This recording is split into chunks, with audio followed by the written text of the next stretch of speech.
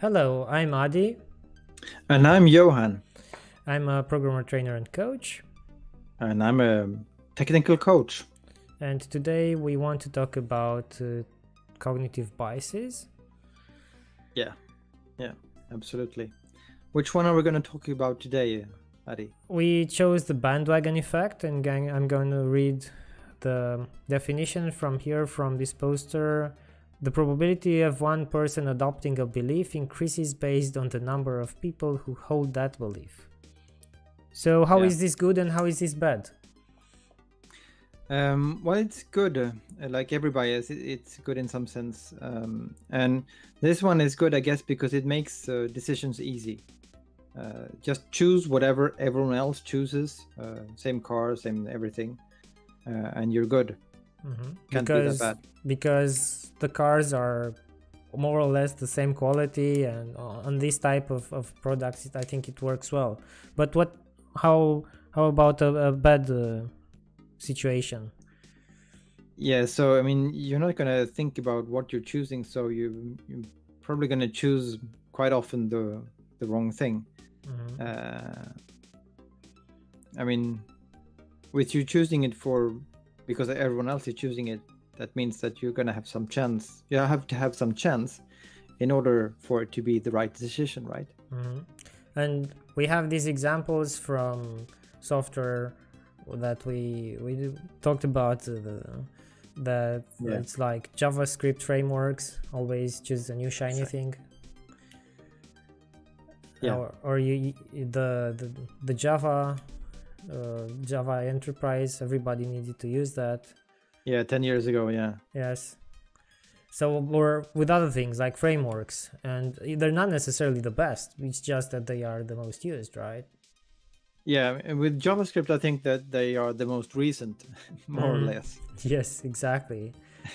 and then this whole ecosystem starts becoming a mess because um, you, you have all these frameworks uh, one on top of the other if you have older javascript code. Yeah yeah. But um, i guess it gives you a good reason to rewrite your software every now and then yeah. so that it doesn't decay too much right? You you become very busy. Yeah. Um yeah and i also see the thing that happens a lot right now when the backend side is that everyone wants to do uh, microservices. Mm-hmm.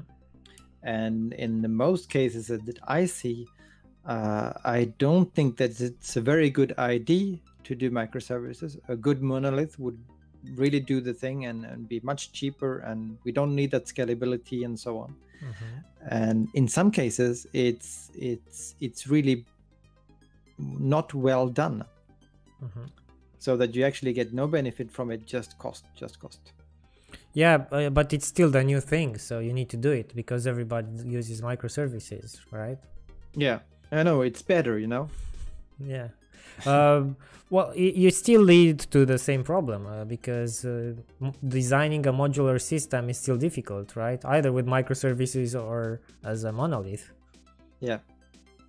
I, I think yeah. you maybe have even more problems because you need more knowledge about infrastructure and um, yeah. asynchronous things and so on, right? Yes, and uptime is gonna probably gonna be worse or it's mathematically gonna be worse unless you really change the way you do architecture like if you build mm-hmm. a message-based system.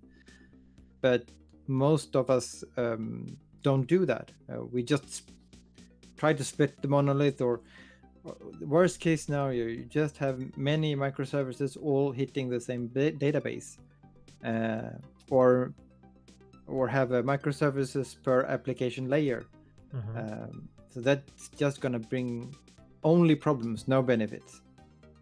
And and like unfortunately, it's it's kind of the way that we think of systems often, and so that's how we actually do microservices. Mm-hmm. And it's um, it's um, it has a really bad effect, and I think it really costs the industry a lot. Yeah, that's true. I think there's a cost of learning. You need to put that somehow there. Yeah. yeah. Uh, I saw this uh, quite often in change management when working with different organizations, and uh, there's this situation quite often when people don't want to change because they have been doing things in a certain way. and then but it can also be useful right because you you can have the new shiny thing like with javascript but in, in an organization. Everybody needs wants to do the new thing so then it helps you. Yeah. Yeah. Yeah if you want to make people change then then definitely the bandwagon effect can can help you. If you want them to change to something which is kind of hype or mm-hmm. or or the majority of people is, are doing it then then it can definitely help yeah. So what's our sorry yeah i, I guess uh, that's what's happening with scrum right now it's very yeah. easy to make a, uh, an organization try to adopt agile uh, because everyone else is doing it and mm-hmm. and i think uh, not not necessarily a good thing but i think that SAFe is really uses this uh, mm-hmm. it's adopted a lot and and and it's not because it's the best system but um, a lot of people are a lot of players are doing it yeah. So, what's our conclusion about this, the bandwagon effect? Well, I guess it's um, you have to be uh, aware of the problem, and if you're aware of the problem, then you know that almost all decisions are uh, influenced by this bias. Mm-hmm. Uh, so, I mean, you cannot uh, counter it for all decisions because it takes time. However, for the important decisions, then you can uh, say to yourself that okay, I'm I'm uh, subject to the bandwagon effect. Uh, so how can I?